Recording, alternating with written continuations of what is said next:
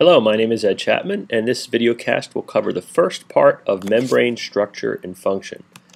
Our understanding of cell membranes is based on models. Uh, scientists use models to explain things that they can't observe directly, and because cell membranes are so tiny and so delicate and difficult to preserve on slides in a way that preserves their structure and their function, scientists have been using models for over 100 years to explain uh, the structure of, of cell membranes. So we can use cell membranes as a good example of science as a process. That's one of our important themes in this course because science is constantly changing and improving as more data is collected. Starting early in the 1900s or late in the 1800s, around 1895, scientists figured out that the cell membrane is made up mostly of lipids, those oily molecules that we've talked about before. They're macromolecules built from fatty acids and glycerols. And these are the primary components of cell membranes. How do we know this? Well, it's because materials that dissolve in lipids seem to pass through cell membranes faster than materials that are water soluble. So the hydrophobic materials, like other lipids, seem to pass through cell membranes quicker. So this led scientists to the conclusion in the late 1800s that cell membranes were made from lipids.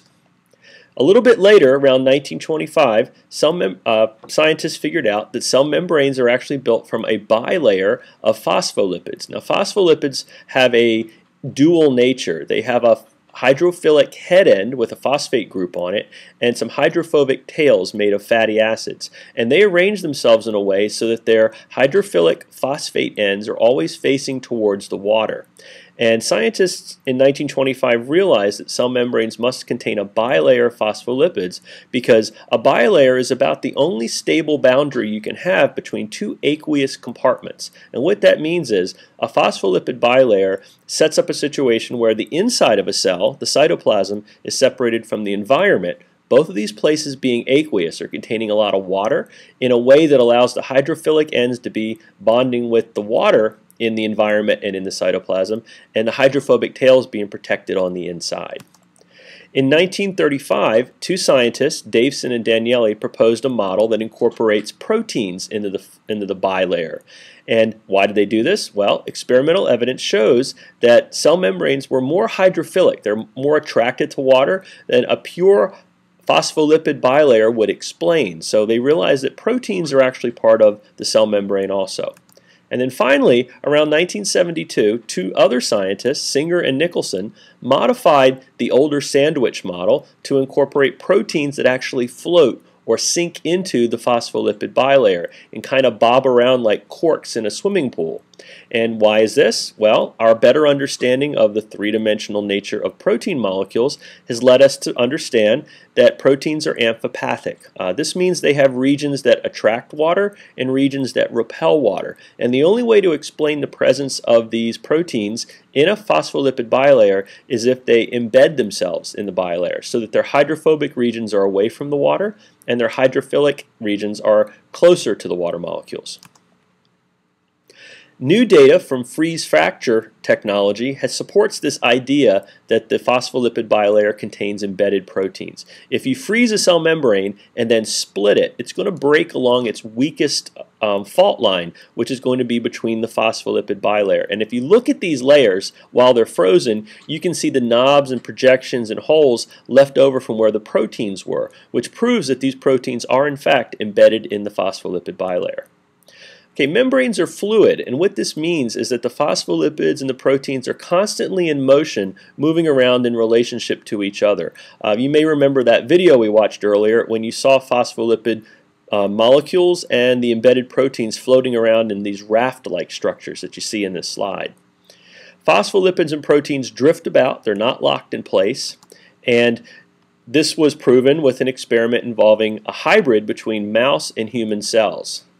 And this was done very simply. If you take a mouse cell and a human cell and you set a situation up where they will combine or fuse together, if the the, the, components of the cell membrane are moving around, it's going to be completely clear looking at the hybrid that the intermixed protein molecules, the, the mouse proteins and the human proteins, prove that these proteins are moving around. If they didn't move around, the hybrid would remain half mouse and half human with the two parts distinct from each other. But we know now that they mix. So this was a very simple little experiment that proved that.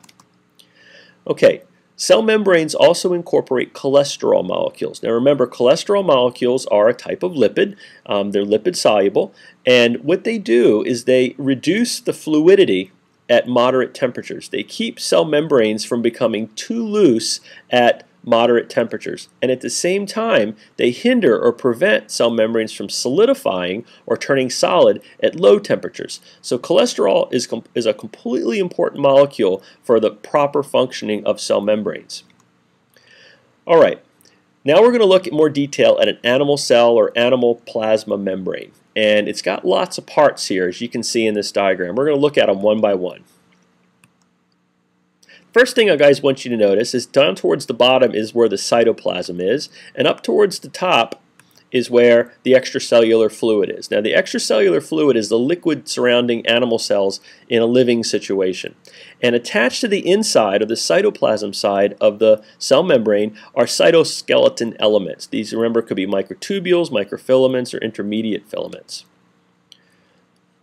Now, embedded in the phospholipid bilayer are proteins called integral proteins because they're integrated into the phospholipid bilayer. They're, they're the, the embedded proteins. You may have heard them referred to as embedded proteins.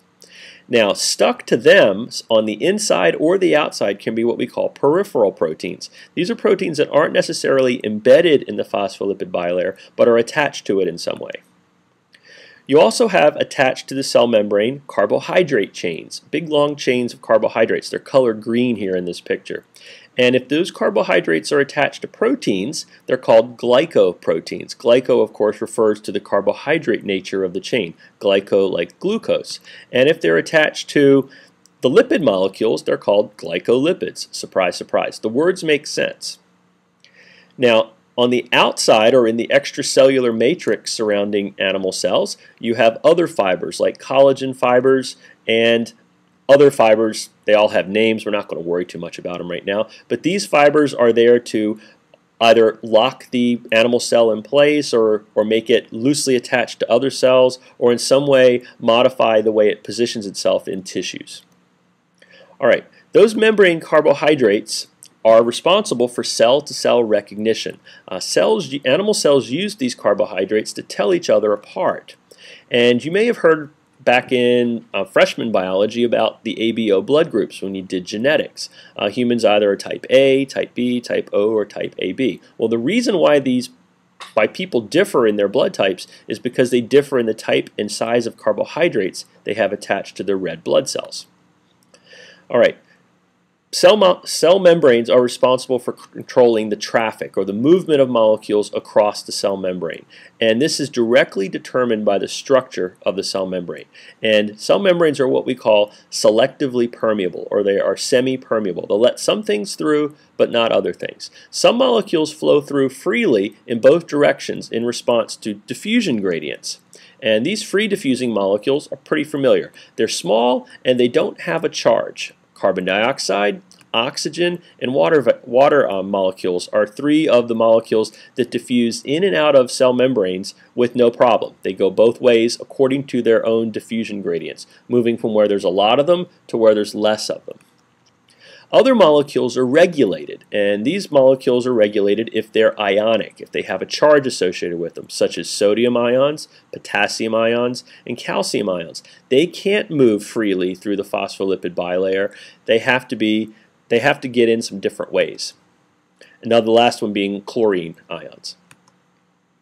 Other molecules are completely blocked. They can't get through under normal situations because they're too large or, for example, things like starches, large proteins, and DNA and RNA. These normally do not move through cell membranes with any ease. All right, the proteins that are embedded in the phospholipid bilayer, which we call integral proteins, have six basic functions. They transport molecules through by acting as transport um, proteins. They are responsible for enzymatic activity. They are taking in substrates and changing them into products or they're involved in cell signaling, which is connected to that idea of cell-to-cell recognition, or a cell being turned on or turned off and what it does um, based on um, these integral proteins. Uh, these integral proteins are also there to join cells together, um, intercellular joining, like what we saw with tight junctions and gap junctions um, previously in the, in the chapter before this one. And they're also involved in cells recognizing and reacting to each other in some way. And finally, they provide a framework to which extracellular cytoskeleton materials can attach. So they can attach parts on the inside of the cell in the cytoplasm to the cell membrane or things that are outside the cell to the cell itself. We're going to spend most of the time talking about transport proteins. Uh, tend to be the most confusing part of what cell membranes do. But we're going to do that in the next presentation. So we're going to stop here.